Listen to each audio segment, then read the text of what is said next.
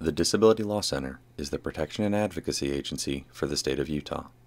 The DLC assists people with disabilities with a variety of issues. The DLC also has a fair housing program to address discrimination in housing, which is available to people who belong to all protected classes, not just people with disabilities. There are a number of things in housing situations that landlords shouldn't be doing. We'll go through some examples now. One method of discrimination is refusing to rent or sell to someone because they belong to one of the protected classes. The federally protected classes are race, color, national origin, religion, sex, familial status, and disability. In Utah, there are three additional protected classes, which are source of income, sexual orientation, and gender identity. Statements like, we don't rent to refugees, or we don't take housing vouchers, are blanket statements which might indicate an owner's refusal to rent or sell to someone who is protected. Oftentimes, however, this refusal is much more subtle, and the person experiencing discrimination may not even know what has happened to them. Secondly, refusing to negotiate for housing is discrimination. This is where someone doesn't have a chance to get their foot in the door to have a conversation about a place to live. Examples of this would be an owner hanging up on a person when they hear an accent, or just not calling someone back who leaves a message. Next, making housing unavailable is also a form of discrimination. This is where a housing provider is dishonest with someone looking for a place to live about the unit's availability. An owner might tell one person it's already been rented and tell another that it's available just to screen out people they don't want to rent to. Additionally, denying a dwelling is when a housing provider denies a person's application based on their protected class status. This is also discrimination. Another way a landlord may discriminate is to falsely say that a unit is unavailable for inspection.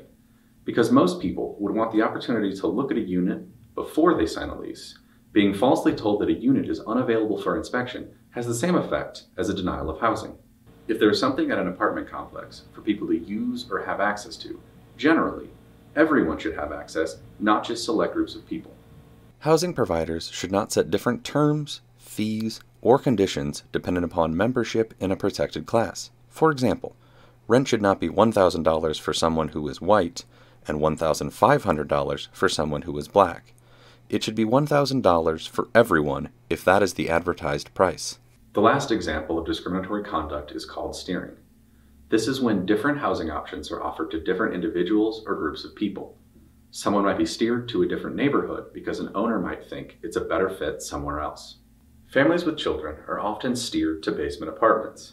The problem with steering is that a person's choice in where they can live is taken away from them. Discrimination in housing can be subtle and hard to detect, and a person may not even know it is happening to them.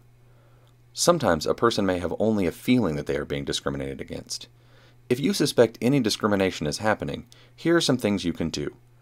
Write down what you think is occurring as soon as you suspect anything. Document conversations that you have with your landlord.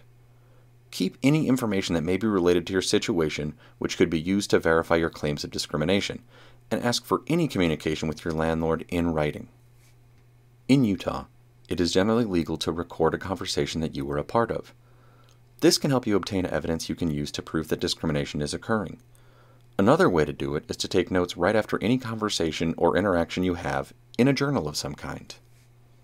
If you or someone you know has experienced housing discrimination or you would like more information about fair housing, you can contact the Disability Law Center by calling 1 800 662 9080, emailing us at fairhousing at disabilitylawcenter.org, or by visiting our website www.disabilitylawcenter.org.